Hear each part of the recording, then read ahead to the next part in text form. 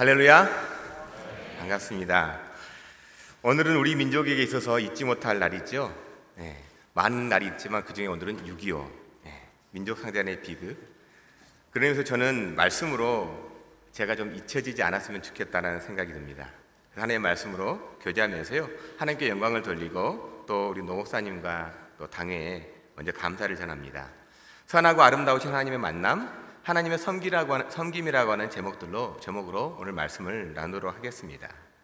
이 세상의 법칙, 이 땅을 살아가는 자연의 법칙이 경쟁이라면 하늘의 법칙, 성도로서 이 땅을 살아가는 법칙은 섬김입니다. 저는 오늘 성경에 나오는 이 예수님의 프레젠테이션, 예수님께서 이 사역을 하시면서 제자들을 가르쳐 주고 또한 교훈하실 때 예수님은 얼마나 이렇게 프레젠테이션을 잘 하셨는지 모릅니다.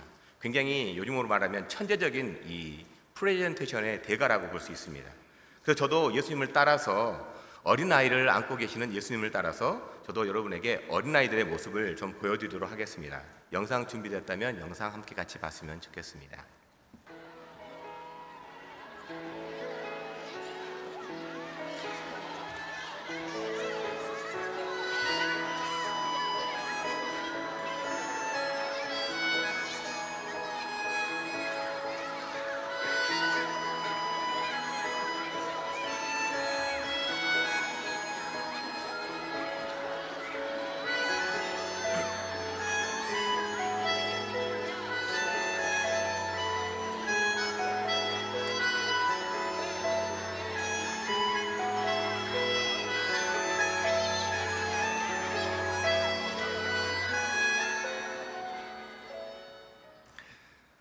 어떻습니까? 이 짧은 영상 속에서 마음이 좀 따뜻해지지 않습니까?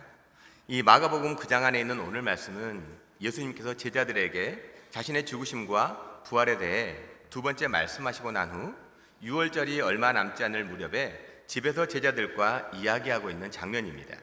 갈릴리 호수 주변 마을인 이 가버나움은 예수님께서 주로 사역하시던 곳이었습니다. 이 마을에는 예수님의 제자인 베드로와 또 안드레의 집이 있는 곳입니다. 오늘 말씀에 나오는 이 가버남의 집은 아마 이런 제자들 중에 한 명의 집안이었을 것입니다.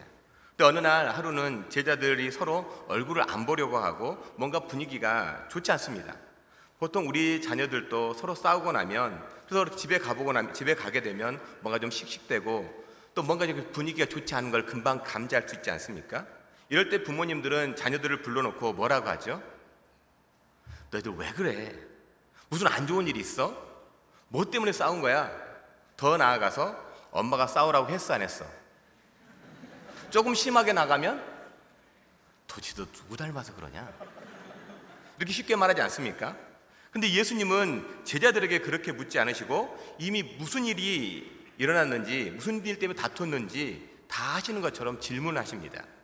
예수님께서는요, 이전에도 제자들과 함께 이렇게 이야기를 나누셨지만 오늘 이 장면은 이전과는 굉장히 다르게 느껴집니다. 이제 얼마 후면 예루살렘에서 세 번째 유월절이 다가오게 되고 그때 예수님은 십자가에 올라가셔야만 하는 굉장히 긴박한 시간이기 때문입니다. 사실 오늘 말씀의 장면은 성경에 나오는 정말 불편한 장면들 중에 하나입니다. 지금까지 제자들은 예수님과 먹고 마시고 모든 시간을 함께 하면서 예수님께서 함께 하셨던 모든 말씀을 빠지지 않고 또한 들었습니다. 예수님의 가르침을 잘 들었습니다. 또한 예수님께서 행하신 기적들을 직접적으로 경험했고 귀신 들린 자, 병든 자를 고치는 전도 훈련도 받았던 사람들입니다.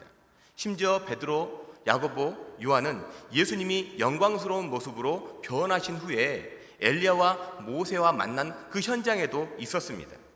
3년여를 예수님이 직접 가르치셨는데 그리고 예수님의 죽으심과 부활에 대해 두 번이나 말씀하셨고 이제 얼마 후면 정말로 예수님과 함께 할 수 없는 절박한 그 시간인데 이때 제자들은 서로 누가 더 대단한 사람인지 누가 더 예수님을 위해서 훌륭한 일을 했었는지 누가 더 큰 자인지 말다툼이 난 것입니다. 그래서 이 장면만을 따로 떼어나 가지고 본다면 이렇게 말할 수 있을 것입니다. 오늘 본문만을 본다면 실패한 사역이다. 실패한 제자와이다. 실패한 교회. 얼마나 답답하고 참담한 광경입니까?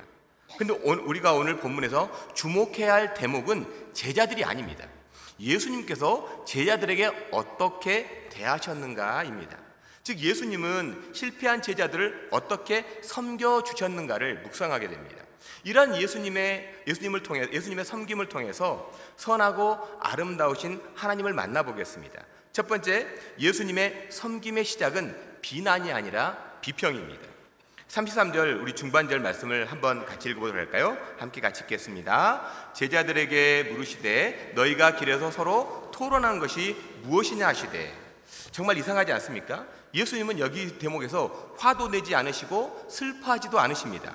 또한 비난하지도 않습니다. 서로 토론한 것이 무엇이냐고 물으시면서 제자들의 문제에 대한 성경적 대안을 가르쳐 주십니다. 이러한 주님의 가르침을 비평이라고 할 수 있습니다. 이 비평이라는 단어를 까마득한 여러분 생각하기에 까마득한 이 중학교 시절 한번 떠올리면서요. 그 국어 시간 한번 생각해 보세요. 너무 오래되셔가지고 생각 안 나시는 분들이 계시다면 제가 도움을 드리겠습니다. 국어 사전에 나온 그 내용을 가지고 한번 여러분에게 정의를 드리겠습니다. 이 비평이라고 하는 것은요, 사물의 옳고 그름, 아름다움과 추함 따위를 분석하여 가치를 논하는 것. 이게 비평의 사전적인 정의입니다. 제가 중학교 시절에 이 시험에도 나온 문제인 것 같아요. 근데 이 비평과 정말 비슷하기 때문에 구분하기 어렵지만 본질적으로 다른 말이 있습니다. 바로 비난이라고 하는 단어입니다. 우리는 사물의 옳고 그름, 아름다움과 추함 따위를 분석하면서 비난할 수도 있고 비평할 수도 있습니다. 제자들이 누가 큰 자인가를 증명하기 위해 서로를 비난하고 있을 때 예수님은 그들을 비난하지 않으셨습니다. 대신 누가 큰 자인가에 대한 본질을 명확하게 알려주고 계십니다. 비평을 해주신 것입니다. 성경에는 같은 구조의 이야기가 여러 군데 나오고 있습니다. 요한복음 8장에 보시면 가는 반 현장에서 붙잡힌 그 여인 있잖아요. 그 여인을 향해서 많은 사람들이 비난의 목소리를 그리고 비난에 가득 찬 그 눈을 가지고서 돌을 들고 치려고 하는 그런 모습이 나옵니다. 반대로 거기에서 예수님은 인간에 대한 비평을 해주시죠. 어떻게 그 사람들 향해서 예수님은 비평하고 있습니까? 너희 중에 죄 없는 자가 돌로 치라. 그러자 여인을 비난했던 사람들은 슬그머니 사라져 버렸습니다. 이것이 예수님의 비평입니다. 동일하게 오늘 말씀에서 예수님은 제자들을 비난하지 않고 비평하고 가르치셨습니다. 너희들 첫 번째가 되고 싶어? 내가 첫 번째 되는 방법이 무엇인지 정확히 알려줄게 라고 하시면서 말입니다. 그래서 두 번째 예수님은 제자들에게 하나님의 마음에 대한 이론적 가르침을 주십니다. 교리적인 가르침을 주시는 겁니다. 35절 말씀을 한번 같이 읽어보도록 할까요? 32절 말씀, 35절 말씀 함께 같이 읽겠습니다. 예수께서 앉으사 열두 제자를 불러서 이루시되 누구든지 첫째가 되고자 하면 무사람의 끝이 되며 무사람을 섬기는 자가 되어야 하리라 하시고 예수께서는 먼저요 첫 번째가 되기 위한 대안으로 무사람의 끝이 되어야 한다라고 말씀합니다. 근데 여러분 사람들은 왜 첫 번째가 되고 싶어 하는 걸까요? 왜 사람들은 1등이 되고 싶어 할까요?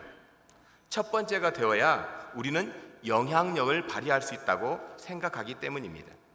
사람이 경쟁에서 이기고 1등이 되고자 하는 보다 더 근본적인 이유에 대해 경제학의 아버지라고 할 수 있는 이 아담 스미스는 자신의 저서 도덕 감정론에서 남들보다 더 뛰어나야 되고 1등이 되어야 하는 그 이유에 대해서 동감을 받기 위해서라고 기술합니다.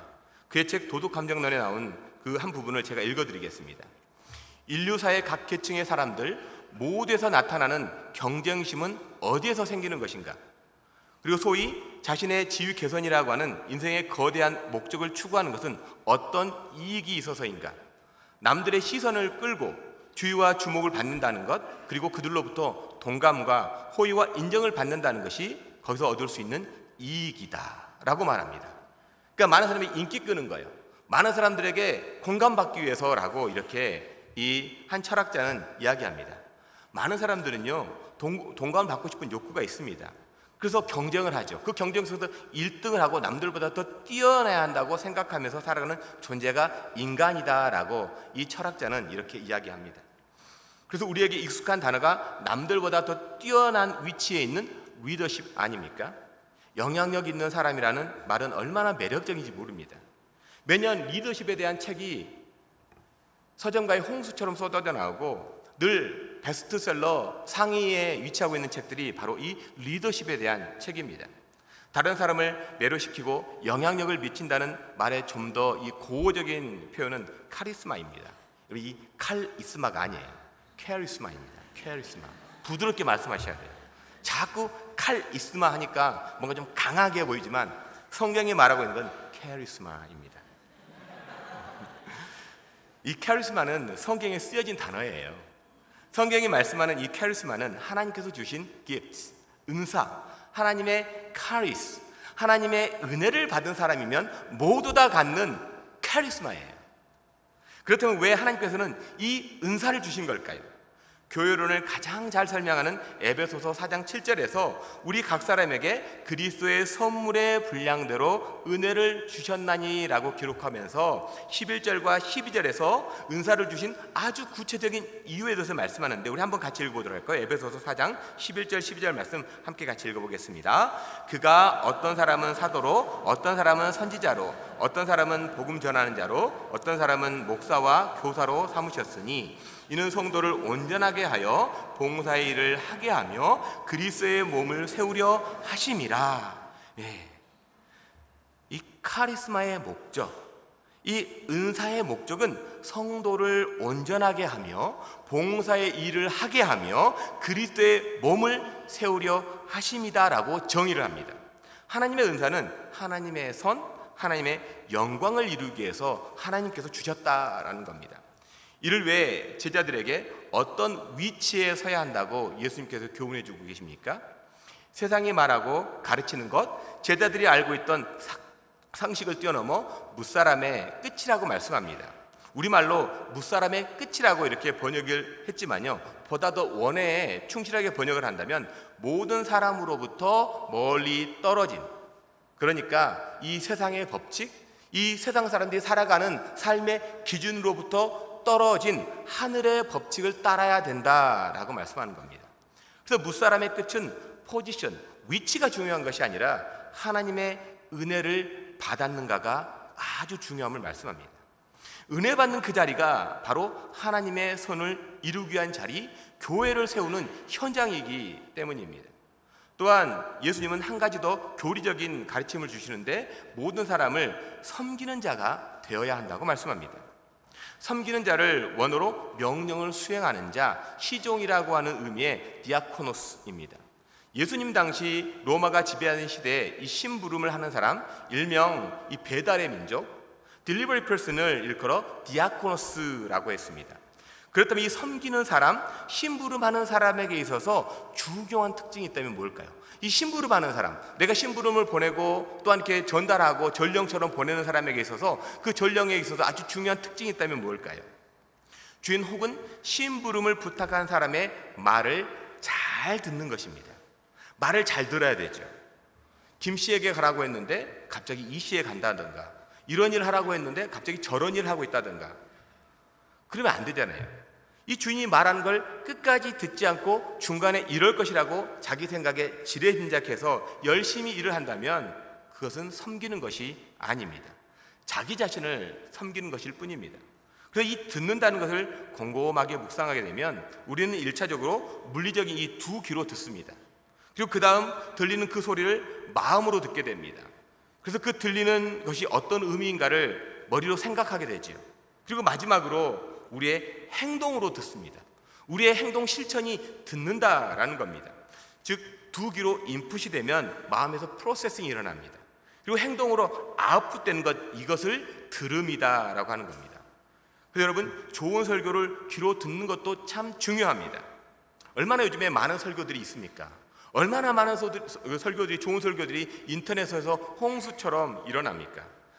그 듣는 것도 중요하지만 성도의 진짜 실력은 삶에서 섬김으로 표현이 될 때입니다. 온전한 섬김은 잘 듣는 것으로 시작해서 들음의 완성인 섬김으로 표현이 됩니다. 이러한 섬김을 삶으로 표현하는 사람을 성경은 집사라고 합니다. 여러분 집사님들 계시지요? 많이 계시잖아요. 네. 여러분 서로 바라보면서 이 집사님들에게 좀 축복합니다. 서로 인사했으면 좋겠습니다. 여러분 좀 축복합니다. 성경에 이 사람을 집사라고 한다는, 한다고 되어 있습니다. 왜냐하면 이 섬기는 자와 동일한 단어를 디모데전서 3장에서는 집사라고 번역을 하고 있기 때문에 그렇습니다. 그러니까 집사 또한 섬기는 자, 잘 듣는 자입니다. 물론 단지 집사만을 의미하기보다 보다 더 포괄적으로 교회에서 은사를 받은 받고 섬기는 모든 사람이 잘 듣는 사람, 섬기는 자입니다. 그러니까 축복 받으셨죠? 여러분 집사님들 축복 받으셨죠? 잘 들으셔야 합니다. 여러분 잘 듣는 자가 집사입니다. 그렇기 때문에 잘 듣고 행하는 사람이 섬기는 사람, 교회의 일꾼입니다. 자신을 드러내고 자신의 주장만을 말하는 사람이 아니라 다른 사람의 말을 경청하고 하나님의 말씀은 어떠한가 비춰 행하는 사람이 섬기는 사람이에요. 교회 안에서는 사람의 말도 들어야 하고 하나님의 말씀이 어떠한가를 비춰서 바라본다라는 겁니다. 사람의 말만 들어서도 안 된다라는 것이죠. 그런 사람이 섬기는 사람입니다. 예수님께서 지금까지 제자들에게서 발생한 문제의 원인을 정확하게 말씀하시고 문제 해결책에 대해 위치보다 더 중요한 것이 은혜 받는 것이고 섬김이라고 하는 것을 계율과 같은 가르침을 주셨다면 제자들에게 그러면 어떻게 이것을 삶에서 실천이 가능한가에 대해서 말씀해 주십니다. 그 세 번째요. 섬김에 대한 이론적 가르침을 받았다면 실전적 가르침을 행할 때 완성이 됩니다. 우리 37절 말씀을 한번 같이 읽어보도록 하겠습니다. 같이 읽겠습니다. 누구든지 내 이름으로 이런 어린아이 하나를 영접하면 밤이요. 누구든지 나를 영접하면 나를 영접함이 아니요 나를 보내신 이를 영접함이니라. 이 37절 한 절에요. 영접이라고 하는 단어가 몇 번 사용이 되고 있습니까? 개혁개정 성경인 우리말 성경에는 다섯 번이 기록되어 있지만 하지만 원문에 이 네 번 데코마이라고 하는 받아들이다, 익히다, 배우다라고 기록이 되어 있습니다. 이 짧은 한 구절에 예수님께서는 네 번이나 동일하게 말씀하고 있는 것은 그만큼 강조하고 있다는 겁니다. 영접을 강조하고 있는 겁니다. 그런데 예수님께서 강력한 어조로 말씀하신 내용이 당시 사람에게 취급받지 못한 존재, 사회 속에서 보잘 것 없는 존재로 어느 누구에도 관심이 없는 어린아이를 영접하는 것이 하나님의 은사를 받은 성도로서 섬김을 실천하는 것이라고 주님께서는 실천 명령을 이렇게 이야기해 주십니다. 그러면 지금까지 예수님의 말씀과 가르침을 들었으니까 우리는 그렇게 살 수가 있을까요? 우리가 말을 들었어요. 예수님께서 이렇게 말씀을 읽었어요. 그리고 내 마음 안에서 뜨거움이 일어났습니다. 그럼 우리는 그렇게 살 수가 있을까요? 여러분 처음에 보셨던 훈훈한 동영상 기억하십니까?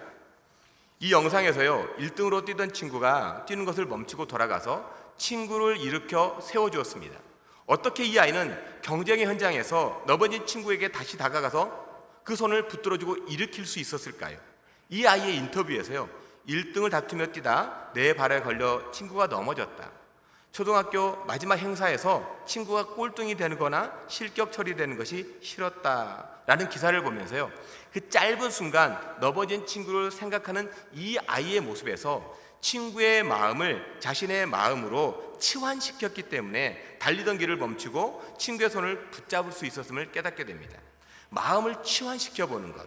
상대방의 마음 안에 내 마음을 우겨서 집어넣는 것이 아니라 내 마음 안에 상대방의 마음을 넣는 것. 이것을 우리는 보통 공감 능력이라고 합니다. 그리고 이러한 모습을 보면 우리도 훈훈한 마음이 드는 것은 공감의 영향력 때문입니다.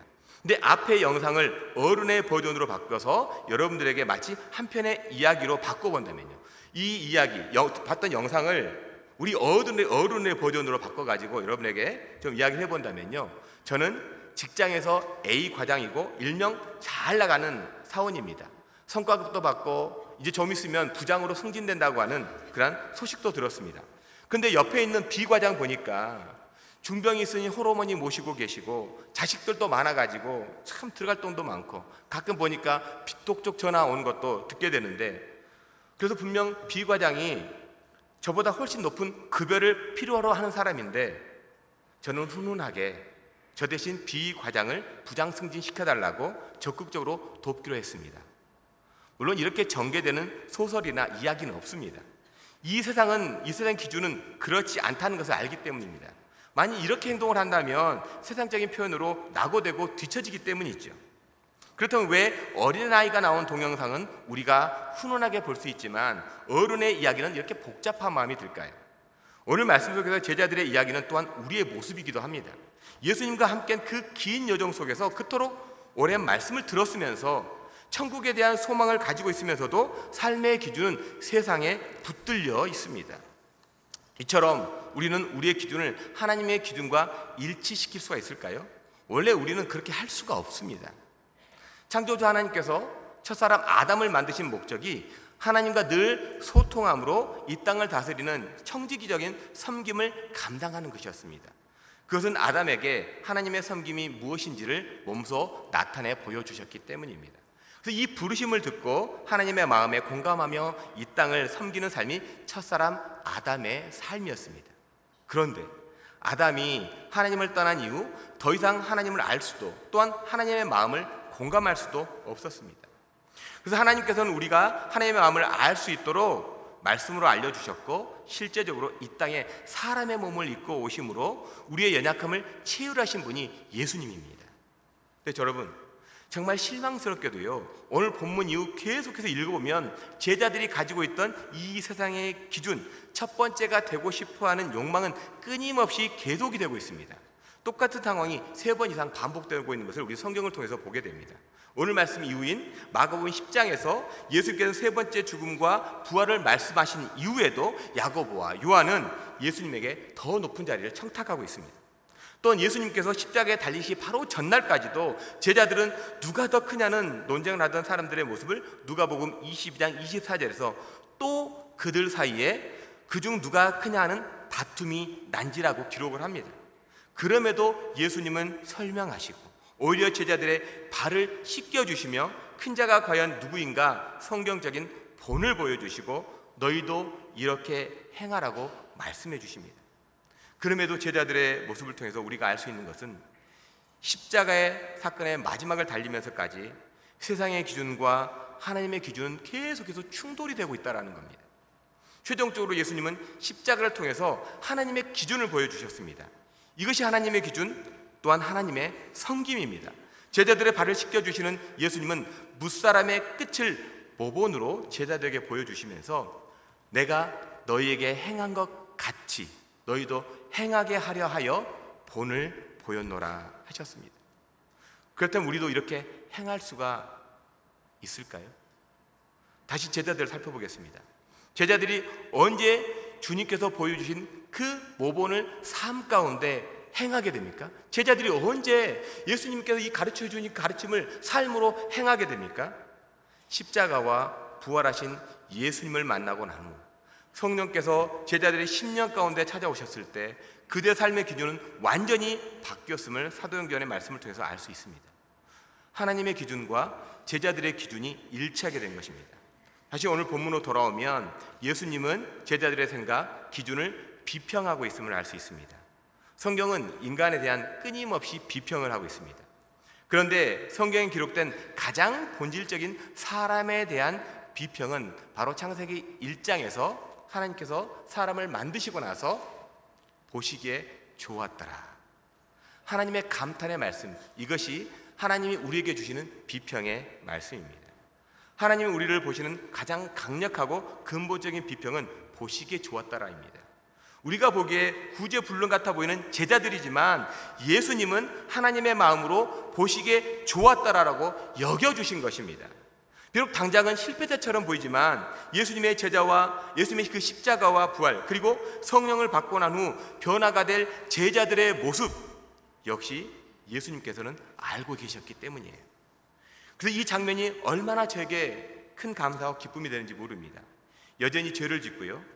세상의 기준에 매여 살고 여전히 추악한 나이지만 그럼에도 하나님의 시선은 언제나 나를 바라보시면서 보시기에 좋았더라 이기 때문입니다.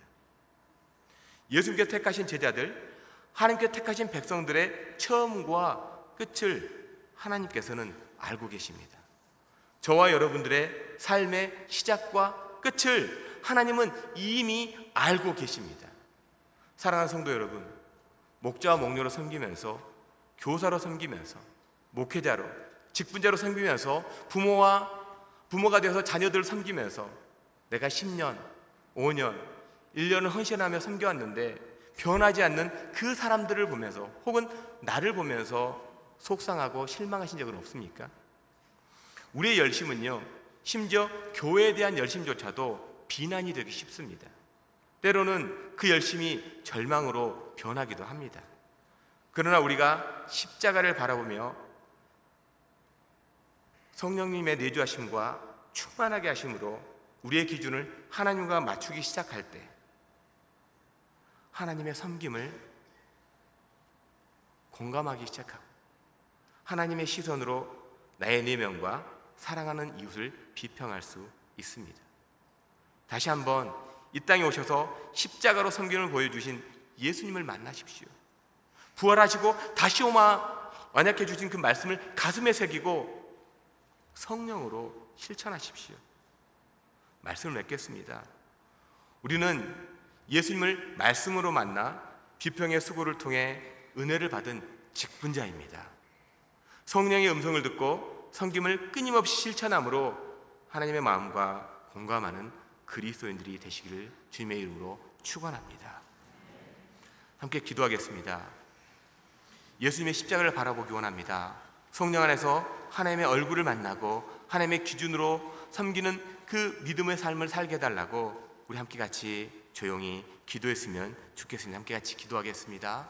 하나님 아버지, 오늘 제자들 모습을 보면서 한심한 모습이지만 주님은 한심하다 비난하지 아니하시고 그들을 꼭 안으시고 바라보시면서 어린아이를 안아주시는 것처럼 안아주시며 이렇게 너희도 행하라고 말씀해 주신 이 실천 명령을 듣게 됩니다. 아버지 하나님, 정말 내가 그 실천 명령을 들었다고 해서 실천할 수 있는 존재가 아닙니다. 성령님 내 안에 오셔야 하고 그 성령으로 십자가를 바라봐야 하고 그 예수 그리스도를 만나야지만 주님의 말씀을 내가 실천할 수 있는 그리스도인 섬기는 자인 것을 내가 고백하게 됩니다. 하나님 하나님의 말씀으로 실천할 수 있도록 날마다 주님 바라보게 하여 주시고 주님과 만나는 거룩한 믿음의 종되게 하여 주시옵소서. 오직 주님과 동행함으로 말미암아 예수 그리스도의 이름을 높이고 오직 주님과 영광되는 거룩한 믿음의 종이 되게 하여 주시옵소서. 주님께만 영광 돌리기를 소망합니다. 하나님 아버지 그리스도 예수의 마음 그리스도 예수의 심장으로 복된 공동체 우리 큰빛 공동체를 섬기게 하시니 감사합니다. 매일 매 순간 십자가로 주님의 본을 행하는 종이 되게 하여 주시옵소서. 땅끝까지 이르는 제자의 삶으로 주님의 다시 오심을 예비하는 섬김의 종이 많아지는 우리 교회 되게 하여 주시옵소서. 예수님의 이름으로 기도하옵나이다. 아멘.